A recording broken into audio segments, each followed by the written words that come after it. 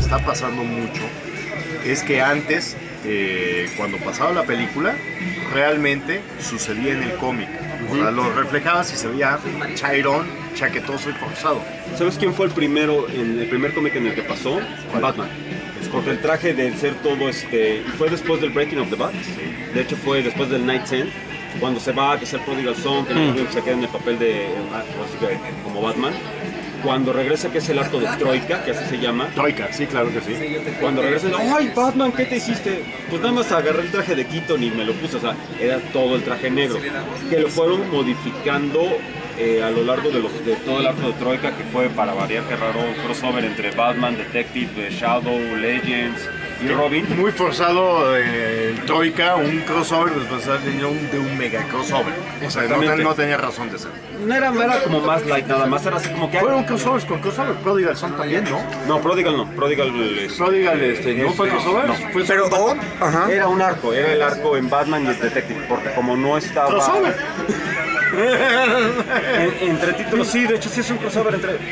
Pero, eh, pero no era interactuando con la demás Batman. Ah, sí, de acuerdo. Era nada más. Ojo, un detalle nada más porque esos arcos entran después de que fue Zero Hour y es cuando Sí. empiezan a restablecer los personajes y de ahí, de ahí es cuando entra el presidente Grayson. Ajá, es correcto, es totalmente correcto. Pero ahí, ahí lo que tú mencionas es totalmente cierto. Antes era qué pasó en la película, lo voy a pasar, lo voy a trasladar al cómic.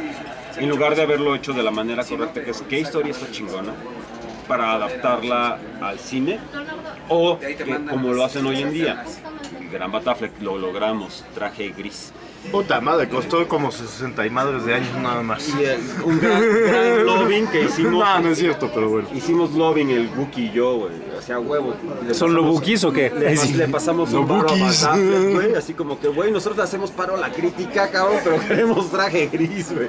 Es correcto. Ahora, lo que me llama poderosamente la atención es, como bien dices, es qué está pasando en el cómic, vamos a modificarlo para que la gente, los ñoños, no, no ranteen, no se rasguen las vestiduras y acepten más rápido Los cambios. mouth le digan a la gente, no, si es que eso sí te pasó en el cómic, güey, está chingón. Exactamente, fíjate que Marvel yo siento que anda haciendo algo parecido. Eh, porque quieras que no, ya viene el momento de sustituir a sus personajes este, que han durado, a los actores como tal, ¿no? Y entonces quizás no vayan a caer por mantener este universo cohesivo, que lo quieren expandir hasta donde dé y reviente, eh, mantener los, mi- los mismos personajes. Entonces no puedes meter a otro actor que ya está tan identificado y decir, ahí te va Robert Downey, jovencito. Señores, señores, como pasó en ese infame arco cuando se vuelve niño, ¿no? Si se acuerdan, Pero ¿no? te voy a decir una De- cosa. después de Gathering, ¿no? Creo ¿Sabes qué película demostró que sí se puede hacer el recasting exitoso? ¿Cuál? Age of Apocalypse. No, no, no, no, no, antes de eso, First Class. First Class, güey. First Class, Sí. que ojo porque aquí hay un pequeño detalle, mientras Pero que es es- correcto, la fórmula Fox ya demostró que lo puede hacer, Sí. pero ahorita están batallando un poco porque tienen que volverlo a hacer porque con los que hizo el recasting, eh, recordemos que hay un acuerdo no explícito entre los Big Three de que serían este Fassbender, este Eh, Macaboy. McAvoy y Jennifer Lawrence, en el cual o participa uno o no participa nadie. Por eso ya están viendo, porque ya también se les va Logan, que ese es el único que ha aguantado desde la primera tanda de películas, y están viendo cómo carajos va a ser la nueva dirección. Sigue, sigue en el mismo equipo este Kingsberg, que es uno de los guionistas, pero recordemos que él es uno. Simon Kingsberg, que también él está detrás No, de es- grandes éxitos como Fantastic Flop. No, pero no es Kingsberg. Sí es Kingsberg. No, no es Kings. Kingsman. Tomato, Tomaro. Bueno, sí, No, sí. es que no, estás confundiendo con Ryan Kingsberg. No, este es Simon Kingsberg. Simon Kingberg. Ajá, y, y- Exactamente, lo sí. que dije hace rato. Kingsberg. Chrysler, pues. Iceberg. Iceberg. Malditos judíos son iguales. Ay, no. Lo que me- digo, a mí lo que me llama la atención es que, ok, sí con First Class tienes razón, pero no eran los X-Men de la primera, de las primeras de Singer. Ahora, ¿qué es lo que pasa? Con el este. ¡Tiempo! No, no, no, no, no. Es que tienes toda la razón, pero es algo así como Age of Tomorrow. Era la precuela del- de la otra. no, si no, te no. das cuenta. No, First Class no. era resulta que salió Cíclope jovencito, pero ese no era el bueno el que viste en la 3, sino este que te presentamos en los 60. Cíclope nunca sale jovencito en ninguna de las de Singer, güey. Ah, ¿cómo no? Lo Salió- no, güey, todos a los que Pero es en la de Wolverine, la Ah, que no existió. Sí, Que, bueno, no, que también fue borrada Esa no existió. no, no, no, no Sí, esa es la de. Wolverine, tienes razón. Pero Pero pasó.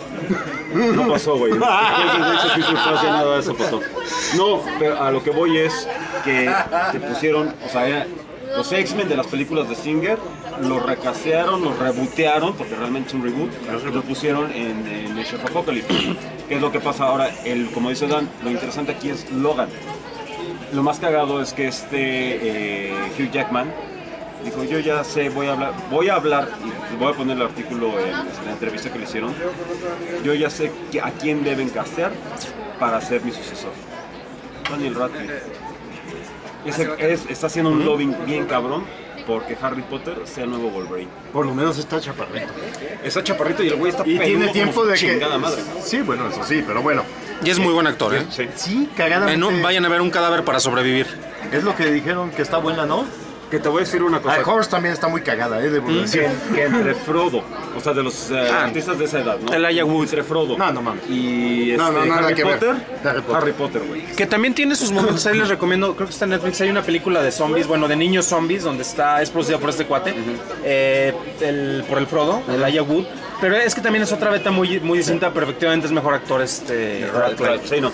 Y eso es lo chido, entonces ahí es donde te das cuenta que hasta Champions, New X-Men y todo ese desmadre, Va para allá. que es lo que está apoyando tu punto precisamente, lo que está Va pasando para allá. va para allá. Es que Pero ya te demostró Fox que, que Que sí cagadamente se puede hacer. no es la Marvel. pe- Pero no es una mega franquicia como la que trae Marvel tan construida. Pero en el su- que ya salieron ese mismo personaje. Con, o sea, van a salir con Guardians of the Galaxy, con el Doctor Strange. Con esos personajes que si te das cuenta no han sido tocados en el cómic. Ellos se han mantenido más o menos constantes. Y en cambio los que están sufriendo grandes cambios es el Big Three, que son los que van a recastear. Te lo pongo rápido, ¿sabes cómo se soluciona?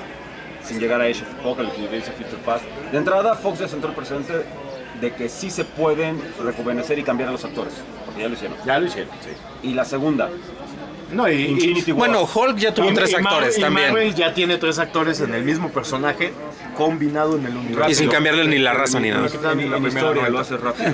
Infinity War. Reboot. reboot. Eh, reality Gem. Se acabó. Pero bueno.